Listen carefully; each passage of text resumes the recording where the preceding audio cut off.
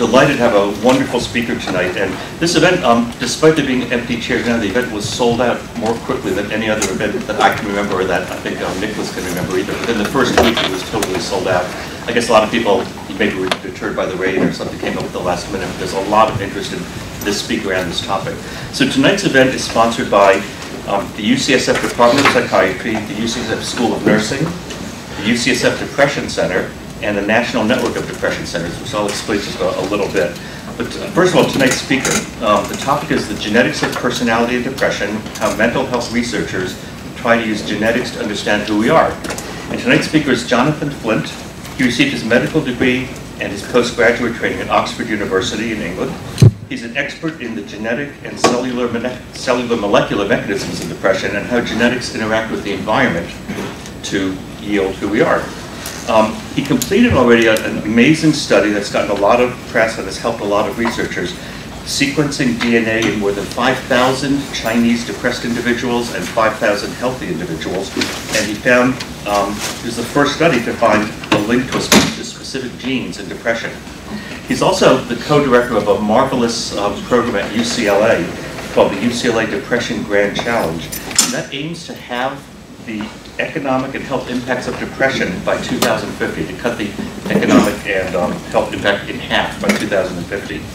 He also is about to lead a 100,000 person investigation, um, the Grand Challenge, which will be the largest ever genetic study of a single disorder. So that's Dr. Flint, and just a bit about the NNDC. The National Network of Depression Centers has been in business for about five or so years, something. like 10. 10 years, 10 years, time flies when you're having a good time.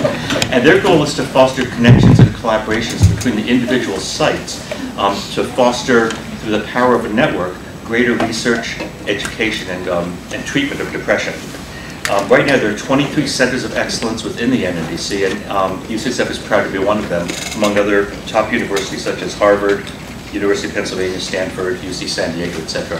So with that as a background, um, I'm very glad, we're very honored to introduce Dr. Jonathan Flint. Thank you. Thank you. Thank you very much. So I started uh, my presentation by showing you this slide just to indicate that the subject is still of great interest uh, to the media and therefore one presumes to, um, to the general public. The effects uh, that make us what we are, personality, our mood. And um, my task this evening is to uh, try and inculcate in you some criticism towards some of these findings and make you a little skeptical about some of the stuff that uh, this journal and others might publish. And to do so, I'm going to have to teach you a little bit of psychology, even less genetics, but unfortunately uh, a little bit of statistics. Uh, I'll take you very easily through those subjects. But most of what I'm going to tell you really will be about personality. And um, in order to do so, I thought this might be useful. So this is a, um, uh, a, a publication I picked up in um, a railway station. on sale to the general public. And um, capital letters, it says self-scoring personality tests. And if you notice the author down there, Victor, tells you he's the honorary international president of Mensa. And you might wonder why he makes it um, so obvious that he has that position. Uh, and I think it's because lots of us, when they're faced with something like a self-scoring personality test, are a little bit dubious about what he might tell you. We, we all know that judging personalities is not so easy. Most of us have the experience of meeting somebody we think we like, taking them out for a dinner and realizing we don't like them. And even worse, you might be married to somebody for five then realize they're a psychopath. um, so we, we think that uh, five-minute self-scoring personality test is really not going to be uh, much use, and it won't tell us anything like as much as our partner will tell us when we fail to do the washing up, to tidy up the bedroom, uh, you know, the sort of arguments that go on when people open up their hearts to each other. And if you open up this magazine, then you'll find that the questions are um, slightly strange. So um, one down here, do you like to pick up furry animals? what on earth is that going to tell you about your personality? And I think most of us um, would think about the problem in, in the following way. So there's, there's one um, question um, which is, uh, let's see, do you disregard other people's feelings? So you have to answer yes or no to that. And most of us will look at that and think, well, you know, that depends. if I want to impress you, you know, and, and, and I'm taking you out for a nice evening, then yeah, I'm, I'm going to do my best to be nice to you. But as a scientist, if you're standing in the way of a major publication and a scientific advance, I don't really care what you think about it. I'll do my best to uh, disregard your feelings. So there's a situational element to the way we would answer these questions. And I think that's fundamentally why we, we are distrustful about this sort of approach. What I have to convince you is that's not the way psychologists uh, treat these data. For them, it doesn't matter whether you tell the truth or not. They're interested in this data set because it's a set of responses which might be, for example, predictive of whether you are suffering from a psychiatric illness or not. So if I have a group of people who have schizophrenia and a group of people who don't, and I give them this questionnaire, and I find that the people who have schizophrenia are more likely to say, yes, they like to pick up furry animals. I don't really care whether that's true or not, I just use it as an indicator. So psychologists are using this because it tells them something useful. And the other thing you should realise is that they don't work necessarily with the individual items. So the best way to show you this is to take two questions. Are your feelings hurt? And do ideas run through your head so you cannot sleep? Now there is no logical reason why if you say yes to one question, you will see yes to the second. But it so happens, if I give this of questions to this audience or any other group of people, we will find that there's a correlation that people are, in general, more likely to say yes to this one and to that one. They come, as it were, in pairs. And in fact, if you look across all of the questions, you find this correlational structure.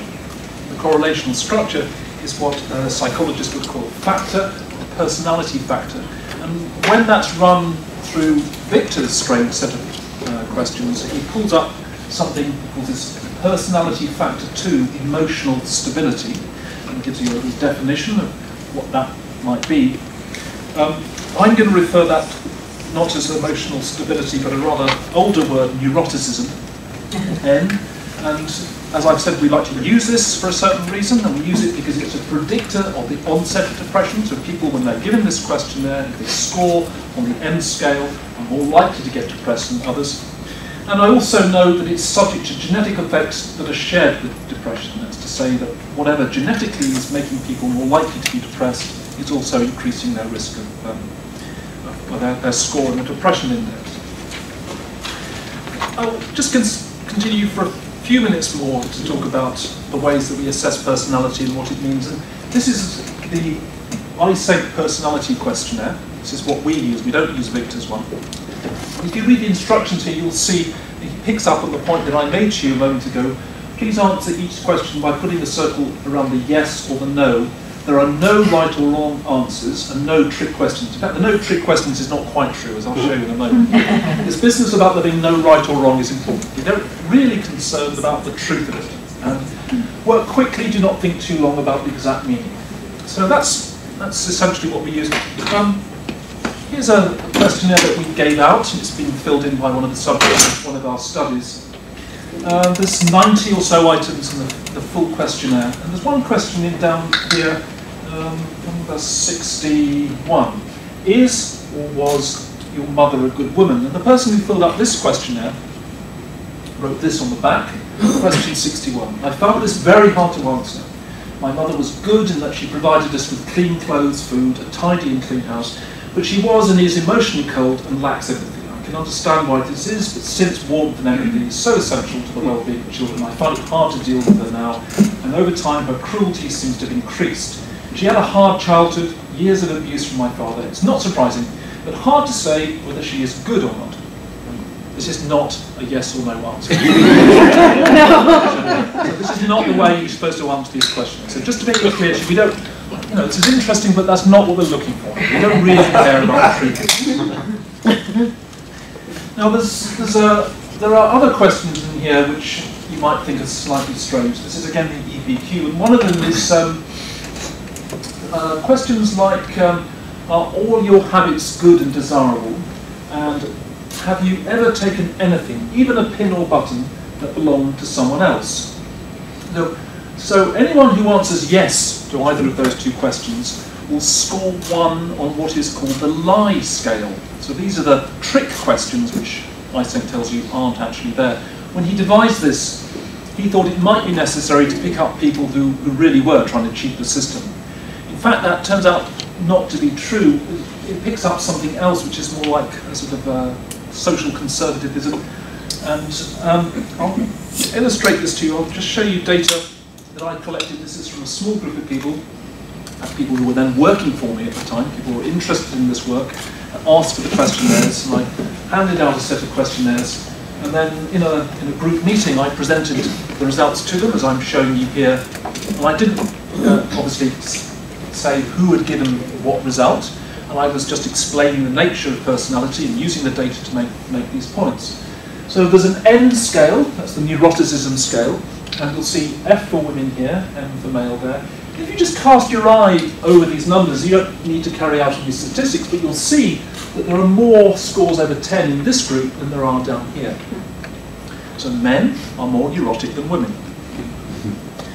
And then I explained that there was the E scale, which is extroversion, people who are like going out to parties and having fun. And then there's the uh, L scale, the one that measures lies or social conservatism. And here's the P scale. It's a scale that Eysenck developed for measuring psychoticism, as he, as he called it, a rather poorly defined feature, which usually psychologists don't use very much. And if you look, most people score very low on this scale, I was explaining this to the group of people who filled this up, but there's one down there of 10, which is quite high. And as I was um, doing this, uh, uh, my uh, colleague at the back of the room lifted up his hand and said, cool, I got 10 on the P scale. and I thought about that answer and I thought, if I had 10 on the P scale, I'm not sure I would want to broadcast it to the entire group. And that again made me think that maybe this is picking up something of importance, but what that actually is isn't clear. So that's a brief introduction to the uh, psychology of personality, and the important points to bear in mind is the questionnaires, in terms of the data they provide us, are telling us about a predictive factor, and what we're trying to predict here is what we learn from the N scale about the risk for depression.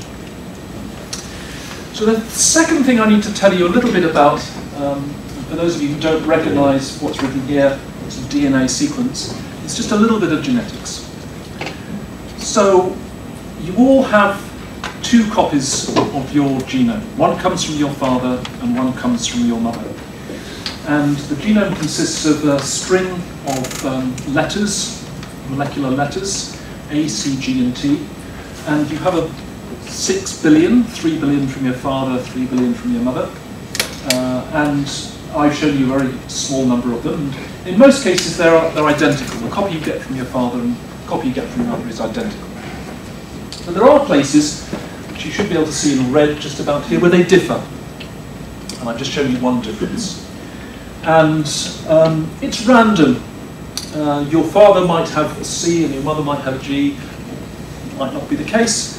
And the consequence of it being random is that you can have either two Gs two Cs, or you could add, as shown here, one of each. So in a population, we have three possibilities for, for that particular variant, and we call these, the genetic term for these is, is a genotype. So there are three genotypes at each of those positions which are variable in the genome. That's really all the genetics you need to know. And what we, as geneticists, want to know is whether any of those genetic changes predict the phenotypes we're interested in. Personality, depression. And the way we do that is simply ask, do we find more people who are, in this case, severely affected with depression who have that genotype, and unaffected people have this genotype? Is there some pattern we can see? All you need to do is, once you have that data, is run a statistical test, it's straightforward to do, and ask whether that is significant or not. And, and that's something that uh, even psychiatrists can do and have been doing for a large number of years. And just to show you that, I, I, I did this um, recently. I took all the association studies, that's a technical term for what we've done, we've just asked about the association between the genotype and the disorder. All the association studies in psychiatric genetics, And this axis is the number of publications per year, and these are the years. So people started doing this in about 1990, and by about 2004, uh, a bit earlier than that, to about 2000 or so, it's uh, coming out about one per day, 365, and we're now up to about 2,500. So that's a huge amount of information that's been generated using this research. Now I've shown you when I started, my first slide was to tell you this is a subject of interest. So when these papers get published, the press picks up on them. And the question is, um, surely, Dr. Flint, you must have learned an awful lot. We have all of this information that's pulled. So you're now going to tell us some very interesting things from this uh, literature. So I'm going to give you a couple of stories, and um, my stories are around uh, something I've mentioned to you before, which is this personality trait, neuroticism. And the other thing you need to know a little bit about is something called the serotonin transporter. And the serotonin transporter is the target of a commonly used antidepressant, Prozac. It's part of the molecule that it uh, binds to. And um, for that reason, it's attracted a lot of interest, and people have wondered whether might be involved in um, many uh, psychiatric conditions that the drug itself affects. So what is what do we mean by the serotonin transporter and uh, its genetics? So this is a little diagram, I'm going to go fully into the details, about, of how geneticists, molecular geneticists, think about the serotonin transporter. So the serotonin transporter is a protein expressed in the brain, and every protein in the body is encoded by a gene. Genes have components to them, and there are components which are called exons. There's the first exon, and more of the gene is spread out along the chromosome along here. But we're not interested in that because the bit that the molecular biologists are interested in is something at the front of the gene. And the front of the gene is like the regulatory region, the thing that determines how much of that protein is being expressed. And what was noticed some time ago is that there was a small region here within this regulatory region which varied. In other words, there was a, a little deletion or an insertion in this uh, regulatory region, and that affected the amount of the protein that was being, at least the amount of, of uh, the message for the protein that was being produced. And this is a genetic change in the DNA. It's just like what I showed you before, the G's and C's, except it's a, rather than affecting one base, it, it, it affects a number of these, uh, of these letters. It's 44 of them. And we can therefore express this as uh, in the following way. So you could either have a short one or a long one. You have an insertion or you can have a deletion. So that works just like the G and C that I showed you before. You have a, a probability of inheriting one or the other. So we can therefore produce the three genotypes. So that's L for long, S for short. So that's somebody who's got two short alleles, two long, or, or one of each. And then what you can do, and this work was carried out some years ago, is see whether those three are associated significantly with our measure of neuroticism. So we collect some data, it's the number of people that fall into those categories, we score them with their neuroticism score, and then we ask if there's a difference between those categories, and the answer is that there's a significant, by some standards, p-value. And as a consequence, this was work done 1990s, you will publish a paper saying there is an association of anxiety-related traits. So remember, neuroticism is this personality trait that predicts psychiatric conditions, anxiety and depression. The polymorphism, a sequence variant, in the serotonin transporter gene regulatory region. And this was published, oh, it's 20 years ago now. Uh, 3,254 papers since then have cited this paper. That's to say, this has been a very influential piece of work, and therefore, by some criteria, you'd think was a, a really important observation. Now, what I'm going to do next is just try and think a little critically about how we evaluate that finding and try and show you that um, things are not quite so simple as they might appear. So this came out in, in 1996, and I told you that doing this study is quite easy. I can give you the questionnaire you can fill it up in about two or three minutes. You can all, before you leave the room, spit in a small pot. I can extract the DNA and I can genotype, get the information for this S and L polymorphism. Take me about a day.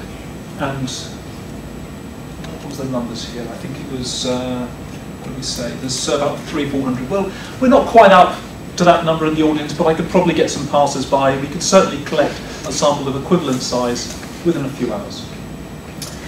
And if I did that, then I might um, publish a paper. And here is a, series of papers published soon after, three in 2000 and one in the year 1998, and I'm showing you the number of people they recruited, and this is the significant result they get. And a p-value that's less than 0.05 is generally regarded as being significant. And you can see this person found a significant result, this one wasn't, this one wasn't, this one wasn't. So I've headed this inconsistent association studies. So they're not consistent with the first paper. Some people are finding it, some people aren't finding it. So it's not so straightforward. So our question then becomes, how do we know who's right? Is there really an effect there? Is this some just noise? What's going on? And there are two ways we can answer this question. One is that we can take all of the published data and we can ask, is there some common pattern going on? And uh, the technical term for this is to carry out a meta-analysis. And I'm showing you this picture, this is my friend Marcus Munafò, and he and I sat down looking at these data about almost 15 years ago now uh, to try and answer this question. And uh, we didn't know how to carry out a meta-analysis. We knew there were such things, but we didn't know the technicalities. So we asked a few friends, worked with them, and we published a paper. And uh, in this meta-analysis, we found that the evidence for the genetic association between N, that's neuroticism, and the serotonin transporter, that's the gene I explained to you, the evidence was that. so that's one way that we could address this question. The other one is to say, let's carry out a really big study and collect lots and lots of people and see whether we can see. So we uh, embarked on, on these uh, two large studies, and um, we, we did this in, um, this is the, uh, the EPQ, you've seen this before, this is the, uh, the, um, uh, the thing we used. And I was at that stage living sort of here in Oxford, and we sent out questionnaires to 88,000 people. It's very cheap to do. It's just the postage. You send out the questionnaires and they, they send them back. So we got responses from 88,000 people, and that's shown here, just to show you what the distribution looks like. So this is the, the, the mean, and I've centered this round zero to make it easy to, to see. And um, those are the two extremes. Now, it turns out that you can get almost all of the genetic information by just getting the genotypes from the two extremes. You don't need to get data from all 88,000 people. You do just as well just to go down to this lot and down to this lot. So we designed a study whereby we wrote to the people here and the people here and said, could, could you send us a cheek swab so that we can genotype and carry out this very important study? Um, just think about this. I didn't. we are going to the most neurotic people in the west of England. The most neurotic. And we're saying, please can you send me a cheek swab? Now, some of them did write to us. I've just received your request to send a mouse swab. This is the last straw. My holiday has been cancelled. My son is influenza. My husband has left me. Now this from you. It is the end. so that tells you we are getting the right people. very, very neurotic. We're quite happy in terms of how this is working. Unfortunately, because they're the more neurotic people, they're less likely to take part. So I'm showing you what we get back. And this, this is the more neurotic group, and we're suffering a bit from our ascertainment. Still, we work it out and decide that it's still a very powerful study. So we analyse the data, and this is what we find. So I'm showing you here, I've already pointed out to you that the scores in women are higher than men, so I'm showing you separately men and women. The grey um, are um, um, uh, female, and the, the, and the darker ones are male.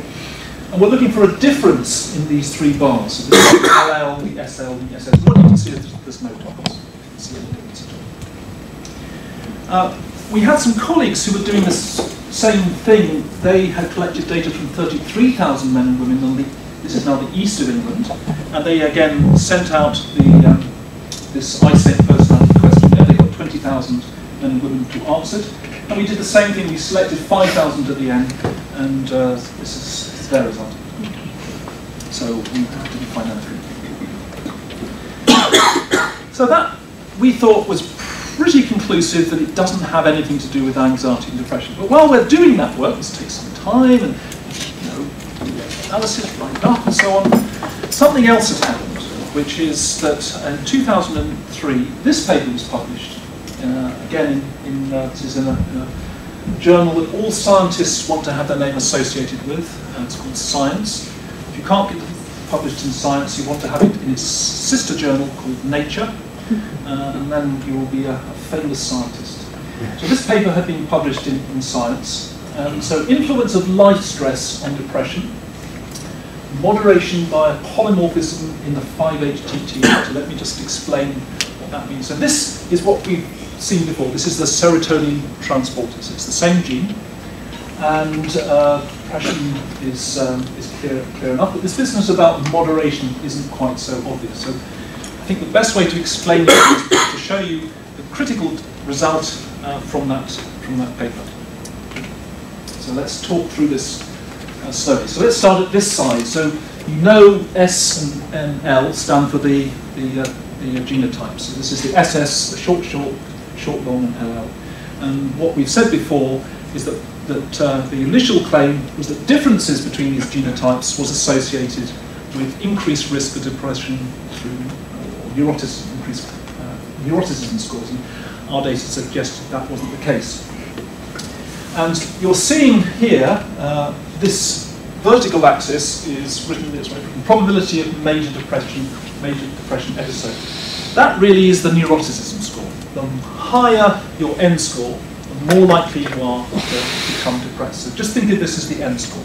It's the same thing. And the claim we saw earlier was that if you have higher, if you have more of this genotype, you're more likely to get depressed. So this is sort of study that we were looking at earlier. Now the difference is there's some other stuff on this on this uh, graph, and, and that's to do with whether you've had bad things happening to you, severe maltreatment, whether probably bad things happen to you. On the left-hand side, as I hope is true of all of you, nothing has happened to you. And what you see is that the difference between the genotypes depends on whether a bad thing happened to you. In other words, if I carry out my study of the relationship between this serotonin transporter gene and depression or neuroticism on a group of people for whom nothing has happened, no bad things at all, then there's no difference. These three genotypes are exactly the same, they lie together. But if I did it on a group of people who have had bad things happen to them, then I do see a difference. So what they're saying is the genetic effect depends on the context, it depends on whether bad things happen to you. So that was the observation, and this looked uh, extremely interesting. Now, you might begin to suspect where we're going next. The first observation is that not everyone found this. Other people tried to do it. And there are problems here, because it's not quite the same as the study I described before. So let me just pick up a, a couple of issues. So this is the picture I showed you first time.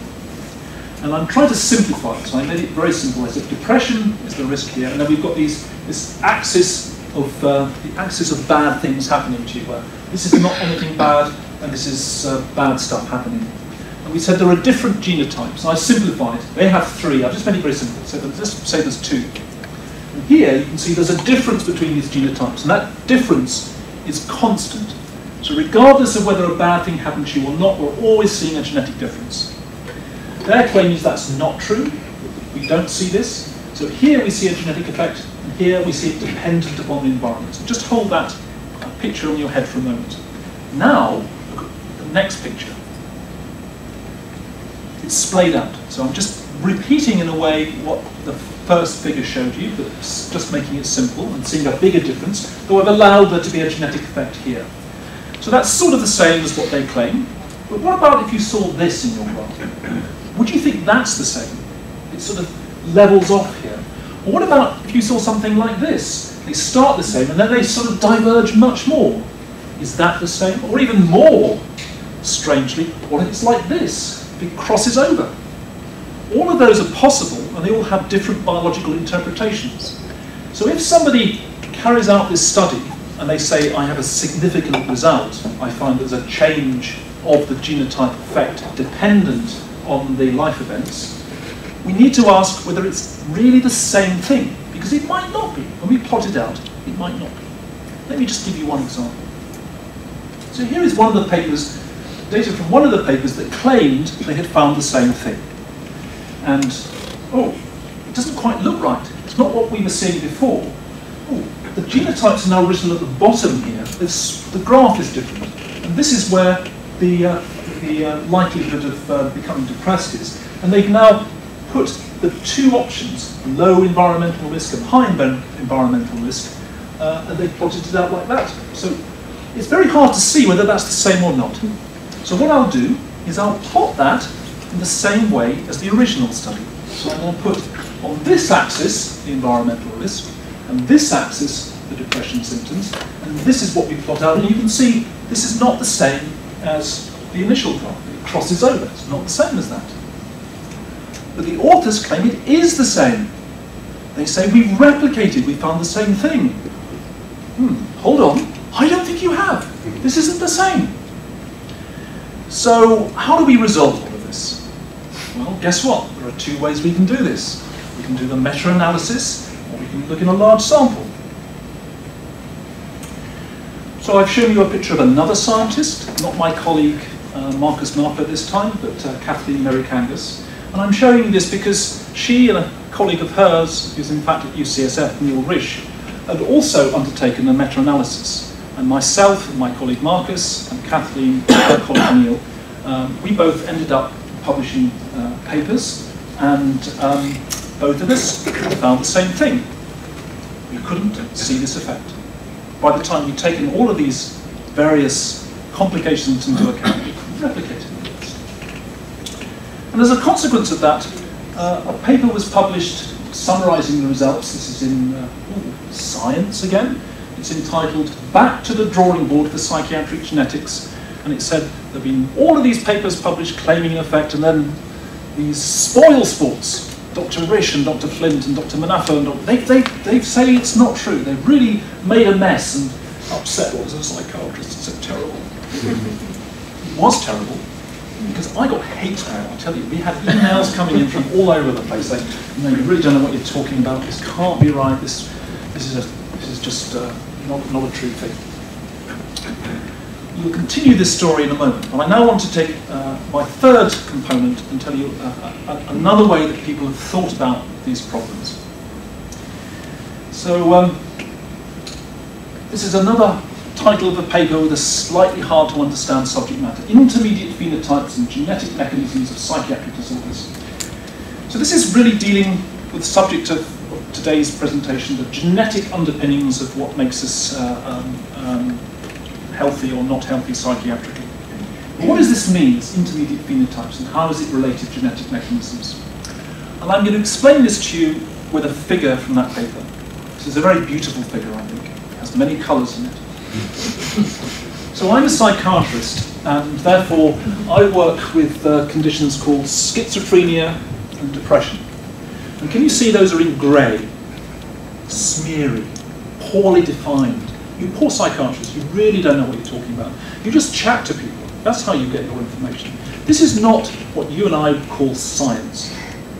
Now there are others called psychologists. And they work with things like episodic memory, complicated stuff, emotional regulation. And note that these are better defined, brighter colours. That means they're more important than what the psychiatrists deal with. but then, the brain. Now the brain has bits labelled in Latin, caudate, putamen. This is getting much more scientific. Anyone who studies the brain itself, clearly they're getting to be a real scientist. And the things they're measuring might be the imaging of the brain, the brain function itself, looking at what's really going on in the brain. But they're still not the really hardcore scientists. Oh, no, no. The really hardcore scientists are down here. They're the molecular people, dealing with the molecules of life itself, the DNA. There's, uh, let me see, oh, serotonin transporter gene. That's a real molecule. And there's other genes here on chromosomes. So this figure has a message, and that message is that there's a sort of pattern going from left to right, and you can see that indicated by the arrows. That you start off with really hardcore science, and it gets sort of blurred as you go through the brain, and then finally you end up with the stuff that psychologists use, which is probably okay, but the last thing you want to be dealing with is the depression and schizophrenia, because that's so hard to work with. It's much easier if you can work with this stuff, and even better, of course, if you can work down this side of the graph. So what that means is if you're a scientist working in this area, you really ought to be measuring things going on in the brain, and that can help you with your genetics, because that will be much more rooted. So they describe this in the following way. So the assumption of this intermediate phenotype strategy, so that's a big, pretty picture graph, is that the genetic effects at the level of the brain are a more direct effect of genetic variation than the complex behavior. So it's much easier to work with those things, and that's the studies we should be carrying out. So is this true? This is another paper in Science, my favourite journal. So uh, serotonin transporter. So you all know what that is now.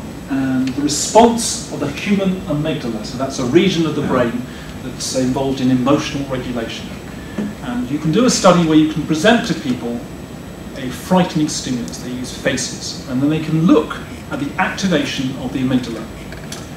And uh, you will get out of a uh, functional magnetic resonance uh, imaging scan. So here's here the, the, the, uh, data you get. And um, so we're looking at little red dots here and here. This is in the amygdala. And uh, this is the response to the fearful stimulus. And what this group have done is they've genotyped two cohorts. And they're looking, if you look up here, you'll recognize S for short, L for long. So I hope you're familiar now. You'll know that's the short and long alleles of the serotonin transporter.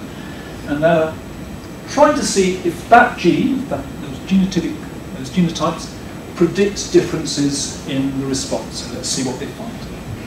So here are our results.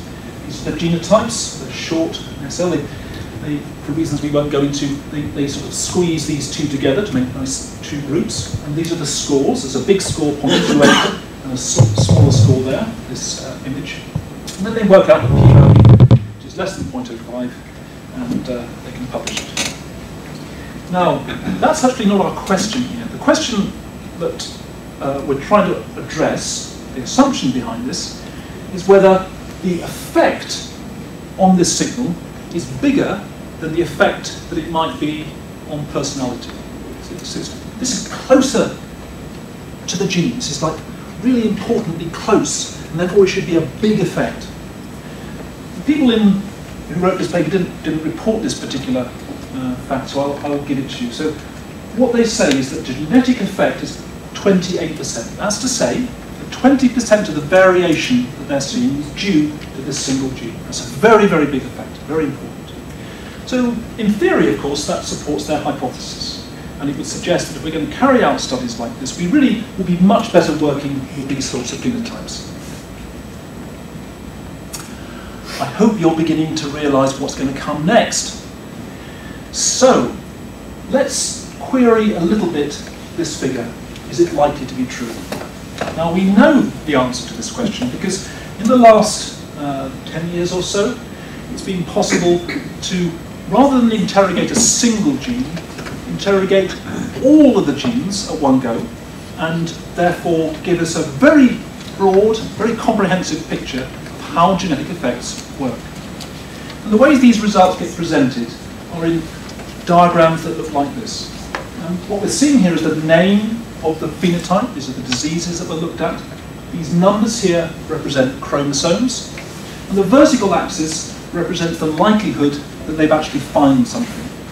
And where it turns green is an indication that the scientists are pretty convinced they found something. So this is a, a, robust technology. And let me just show you the result for the phenotype that we've been talking about a lot, neuroticism. So here is a, a scan for neuroticism, and it's uh, finding something here on chromosome 8 and uh, something on chromosome 9. Um, There's uh, um, other evidence, which I won't go into to support this, but basically that they find things. So now we know you can find things using this technology, but the question that we're interested in here is not whether we can find things or not, but like, how big is this effect? Is this, this one here, is that explaining 25% of the variation? Less? And the one we're really interested in is the things that affect the brain. So remember the claim is that if we look at things that affect the brain, we'll find very big effects. So that has now been mapped. This is another genome-wide association study. Here's a little significance threshold here, and here's a little peak, and there's some, some effects there. So how big are those effects? So in order to answer that question, I decided to get all of the data that's been collected in the last 20 years. I took all of the studies, thousands of them, and I got the effect size and I plotted them out. Here's the result. So this is the effect size here, and this is the number of studies, thousands of them, thousands of them. So what we're looking for is something like 28%. That will be over here. Just to make that clear. Nobody has found anything like that. Not a sign of it. Absolutely nothing. So I'm going to bring my talk to an end by asking what I think is the most important question. I showed you now a number of stories where people have claimed things which have been very hard to substantiate and where a lot of the evidence suggests that it probably wasn't right. So I think we have to ask? Why should people publish these studies, make these claims, and why should there be so much heat, so much disagreement? What is going on here? So this is something that anyone can talk about. You don't need to be a scientist. You just need to come up with some ideas as to what would make people come to different conclusions. And I had this conversation with my colleague Marcus. And we thought that maybe what was important here was where you lived. Why do we think that? Because we know there are different scientific cultures, different countries, different ways of thinking depend on where you're brought up. So we wanted to test this hypothesis. So in order to test this hypothesis, we took all of the literature that we could find and we asked how likely is it that you have a positive result dependent on where you live.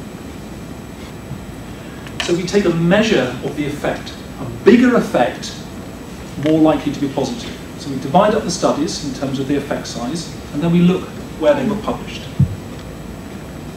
So our measure of effect size is called an odds ratio, OR.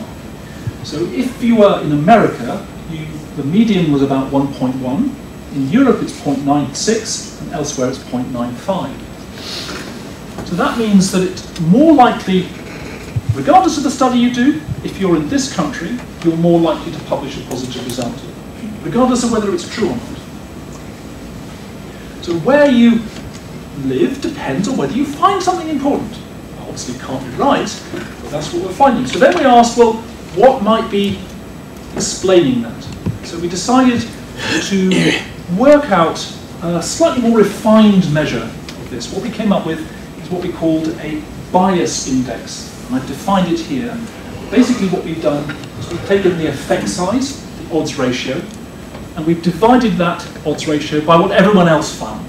So if 100 people did the study, some people found 2, some people found 0. We take the, the mean of that, let's say it's 1, and we take the, the mean of the individual countries, and then we divide one by the other. So if you overestimate, it will be over one, and if you underestimate, it will be less than one. Remember, that's nothing to say about the truth of the finding, it's just taking published studies. So here we plotted this measure of bias against the amount of money that was going into science, which is uh, R&D. And there's a really nice relationship. So if governments pump money into science, they expect some return. So you really need to publish a positive finding. That's what that's telling us. So that seems to be one reason why people are publishing things which may not always be true. The second thing that's very important is what's called an impact factor. An impact factor is what a journal has. A journal publishes a finding, other people, if they think it's interesting, will cite that paper and more people will read it, and therefore you can, for each journal, come up with a measure of the journal's impact by looking at how many people cite the work. It's a measure of how important you are. So put this into context, if you publish something in Science or Nature, I told you those were important journals, the impact factor is about 30.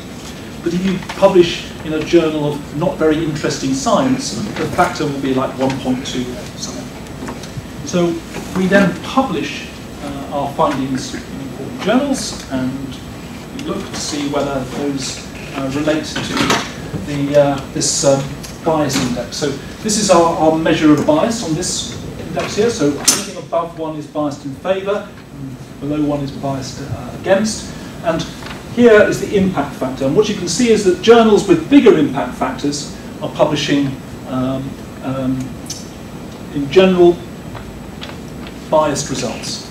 So they're, they're showing papers with odds ratios which are above what we would expect. Oh, this number is like 25. So I told you there are not many journals which are that high. So this, in fact, is Nature and Science. These are the really important journals. So the really important journals are publishing biased results, which is a slightly unexpected conclusion. Now, the other thing that we did when we published this is that we showed the results as big or little circles. And the big or little circles defines the size of the study. So if you did a very big study, you get a very big circle. If you did a very small study, you get a little tiny circle.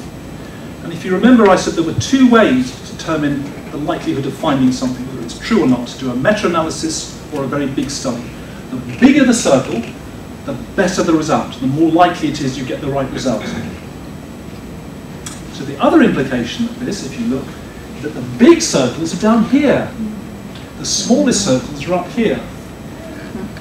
So that means that the really high-profile journals are publishing biased results in small samples, the least likely to be the correct answer.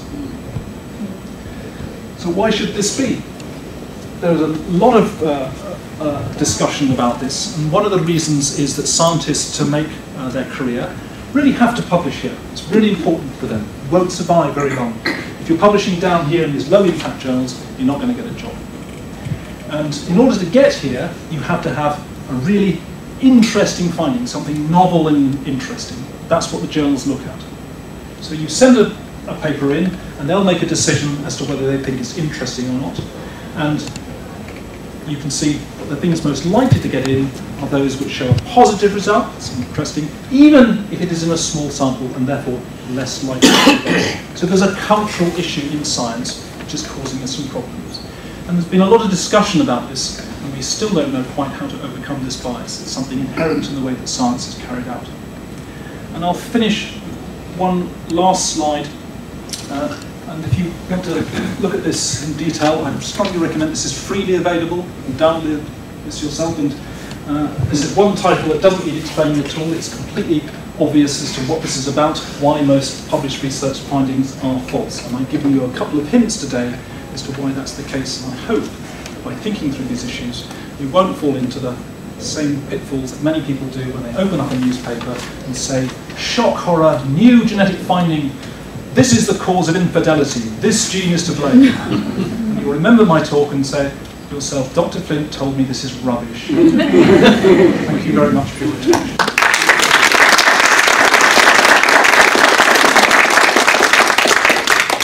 So we have a few minutes for questions for those of you who wish to ask. What about looking at people with diagnosed clinical depression, the genetic? Um, So that is something that, that, uh, that my group has done, and um, so the requirements for carrying out such a study are, are that you would need a very large sample size, which is in fact what we did. So I showed you results uh, for the personality trait neuroticism. That needed 170,000 people to get that result. Um, we didn't need so many for depression. It's a, a, a clinical disorder, so in a sense it's a bit like doing the extremes. Remember I showed you, you collect a large distribution to get the information from the extremes. Uh, but yes, we have done that, and we do find genetic effects that we can replicate. What's that looking like? Uh, it's looking like we're just getting the first clues. We know that stuff's there, but it's a little too early to really interpret. This is published last year.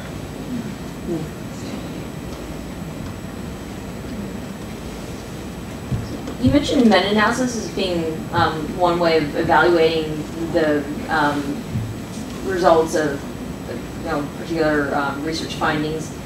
Um, but I guess, at least for studies on drugs, probably one of the most common meta-analysis is um, the, the pooled study, um, the, the pooled analysis. And uh, I got into an argument with a friend of mine who has a background in math, and he was saying that pooled analyses are not statistically very good.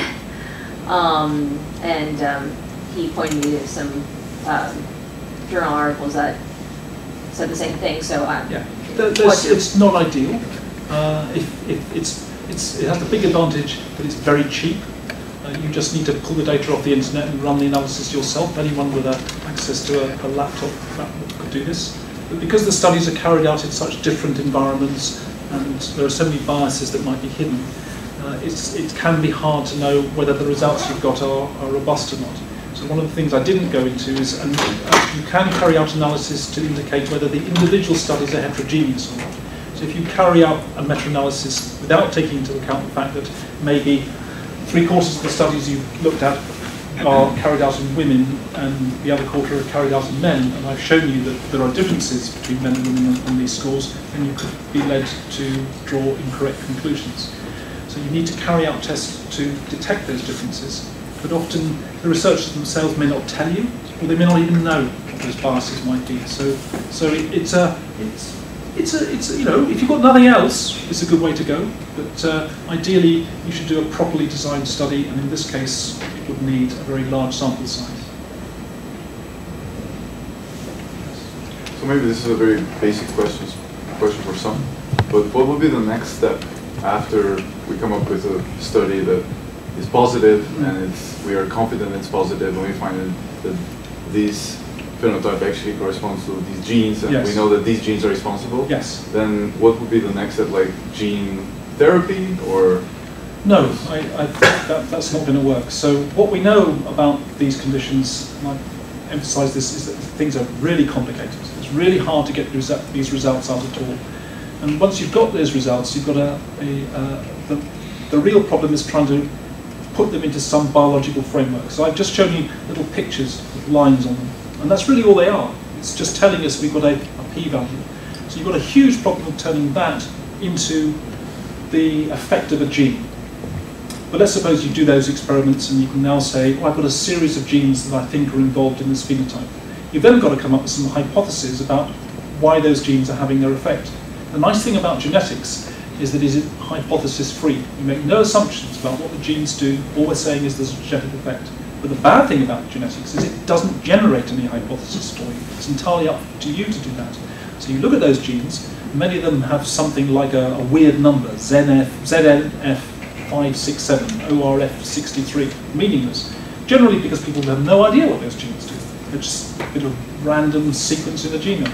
So you have then faced with a lot of work trying to understand what that gene does. There's lots of people around the world working systematically across each gene.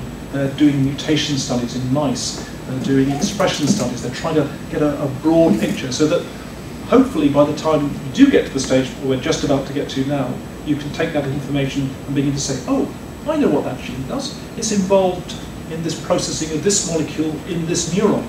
So maybe what's happening is that pathway is a little different in people with depression and without. And then you can go and try and test that hypothesis. And let's suppose you've done all of that work and you now know that the genes you find are involved in determining how neurons get connected in the brain. There might be some developmental effect.